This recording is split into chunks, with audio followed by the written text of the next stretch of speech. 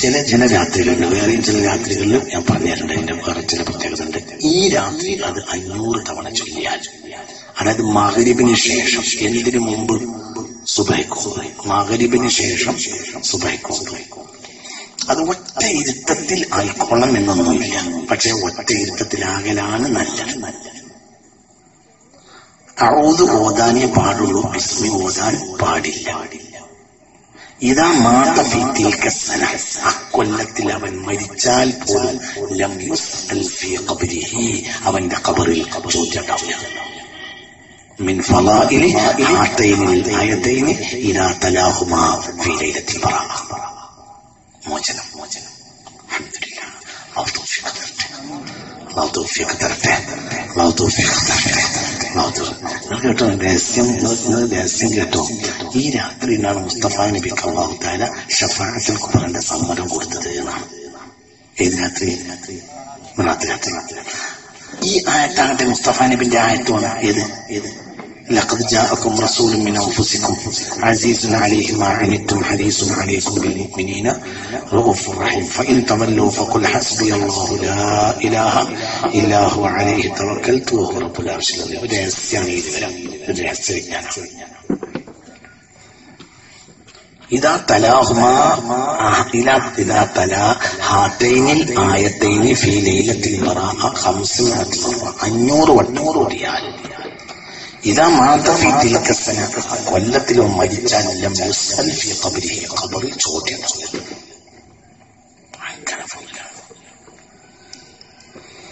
ما ينكرف الله. آه، القرآن السر القرآن القرآن رهسيم رهسيم അപ്പൊ അതുകൊണ്ട് അതാണ് ഞാൻ എന്ത് പറഞ്ഞെന്നറിയോ അതുകൊണ്ടാണ് ഞാൻ എന്ത് പറഞ്ഞത്? രാത്രി വേറെയും പണിയുള്ളത് കൊണ്ടാണ് ഞങ്ങളോട് ഇങ്ങനെ പറയുന്നത്. അള്ളാഹു താല തോഫിയൊക്കെ നൽകട്ടെ. അള്ളാഹു തോഫിയൊക്കെ നൽകട്ടെ. അള്ളാഹു താല തോഫിയൊക്കെ നൽകട്ടെ. അതാണ് മുത്തക്കങ്ങളായ ദാസന്മാരിൽ നമ്മെ അള്ളാഹു താല ഉൾപ്പെടുത്തട്ടെ. അതാണ് മുത്താക്കങ്ങളായ ദാസന്മാരിൽ അള്ളാഹു നമ്മളെ ഉൾപ്പെടുത്തട്ടെ. അതേപോലെ അതേപോലെ. അതൊന്ന് ശ്രദ്ധിച്ചാൽ അത് ഒന്ന് ശ്രദ്ധിച്ചോളി. ശ്രദ്ധിച്ചാൽ നല്ലൊരു കാര്യമാണ്. അതൊന്ന് ശ്രദ്ധിച്ചാൽ. പിന്നെ ആ ആയത്ത് നിങ്ങൾ എപ്പോഴും കൊണ്ട് നടന്നോളൂ. ബസ് കയറിയാൽ ഇറങ്ങിയാൽ വാഹനത്തിൽ കയറിയാൽ ഇറങ്ങിയാൽ എപ്പോഴും എപ്പോഴും അതിനിടയ്ക്ക് ഹസറായി വന്നാൽ വിഷമമുണ്ടാവില്ല അതൊരു ഖുർആാന്റെ രഹസ്യമാണ്. അതായത് അവസാനം ഇറങ്ങിയ ഒരു ആയത്വമാണ് രണ്ടായത് അതായത് اليوم أكملت لكم دينكم وأتممت عليكم نعمتي ورضيت لكم الإسلام دينا എന്നുള്ളത് അറഫയിലിറങ്ങി അതോടുകൂടെ ഇസ്ലാം പൂർത്തിയായി പിന്നെ ആയത്ത് ഇറങ്ങൂല എന്നായിരുന്നു സാഹിബികൾ വിചാരിച്ച് പക്ഷെ ആയത്തിറങ്ങി ആ ആയത്താണ് എന്ത് ഈ രണ്ടായത്ത് ഈ രണ്ടായത്ത് ഇറങ്ങിയിട്ട് പിന്നെ മുസ്തഫ നബി റുജൂറിന്റെ ആയത്ത് മാത്രമേ ഇറങ്ങിയിട്ടുള്ളൂ അതായത് വത്തഖൂ യൗമൻ തുർജഊന ഫീഹി ഇലല്ലാഹ് തുമ്മ തുവഫന അൽ ബഖറയിലെ 252 ആയത്ത് മാത്രമേ പിന്നെ വന്നിട്ടുള്ളൂ ഇത് രാമസ്ഥ ഉമർ ഇബ്നു ഖത്താബ് റളിയല്ലാഹു അൻഹുവിന്റെ ഉപദേശപ്രകാരം പിന്നെ ബഹുമാനപ്പെട്ട അടക്കമുള്ള മഹാന്മാര് ഉബയ്യ അടക്കമുള്ള മഹാന്മാര് കൂടിയിട്ട് ഖുർആൻ ക്രോഡീകരിച്ചപ്പോൾ അവസാനം എഴുതി ചേർത്തത് ഈ ആയത്താണ്. ഈ ആയത്തിന്റെ കൈരേഖ അബൂ ഹുസൈമത്ത് അൻസ്വാരി റളിയല്ലാഹു അൻഹുവിന്റെ വീട്ടിലുണ്ടായിരുന്നു. അത് റസൂള്ളയുടെ സമ്മതപ്രകാരം എഴുതി വെച്ചതായിരുന്നു. അത് കൊണ്ടുവന്നിട്ട് അങ്ങനെ തന്നെ ചേർത്തു എന്നൊക്കെ മനസ്സിലാവുന്നില്ല സുഹാരിയിലുണ്ട് ഈ ആയത്ത്.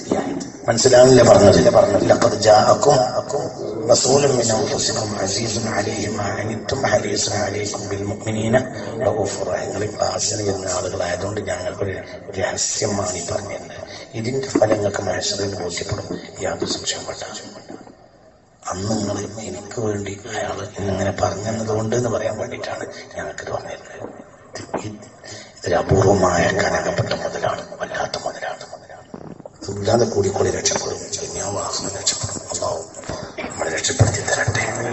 അള്ളാഹു നമ്മളെ രക്ഷപ്പെടുന്നതല്ലേ ആവശ്യമുള്ളത് രക്ഷപ്പെടാനല്ലേ ആവശ്യം ദുനിയാവിന്റെ കഥയ്ക്ക് കഴിയല്ലേ കാര്യം മറക്കണ്ട ഒരു അഞ്ഞൂറ് വട്ടം എന്ത് لقد جاءكم رسول من انفسكم عزيز عليه ما عنتم حريص عليكم بالمؤمنين رؤوف رحيم فان تولوا فقل حسبي الله لا اله الا هو عليه توكلت وهو رب العرش العظيم എന്നോട് ആ രാത്രി ശ്രദ്ധിക്കേണ്ട ഒരു കാര്യം വിചാരിക്കരുത് ഇതിൽ എന്തേ ഉള്ളൂ ഔദു ഔദു തുടക്കത്തിൽ ചൊല്ലിയാലും മതിയാകും മതിയാകും ഔദു തുടക്കത്തിൽ ചൊല്ലിയാലും മതിയാകും أعوذ بالله من الشيطان الرجيم لقد جاءكم رسول من أنفسكم عزيز عليه ما عنتم حريص عليكم بالمؤمنين رؤوف رحيم فإن تولوا فقل حسبي الله لا إله إلا هو عليه توكلت وهو رب العرش العظيم പിന്നെ പിന്നെ വീണ്ടും ലഖദ് എന്തോതല്ല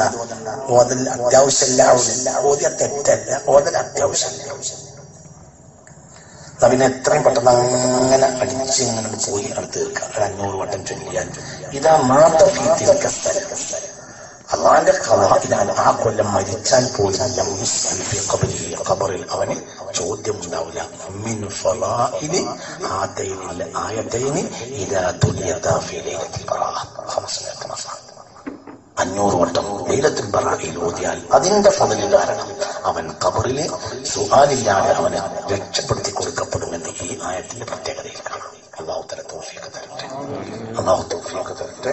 അള്ളാഹുവിന്റെ സാഹചര്യങ്ങളും മുത്തക്കങ്ങളിൽ നമ്മളെ ഉൾപ്പെടുത്തി.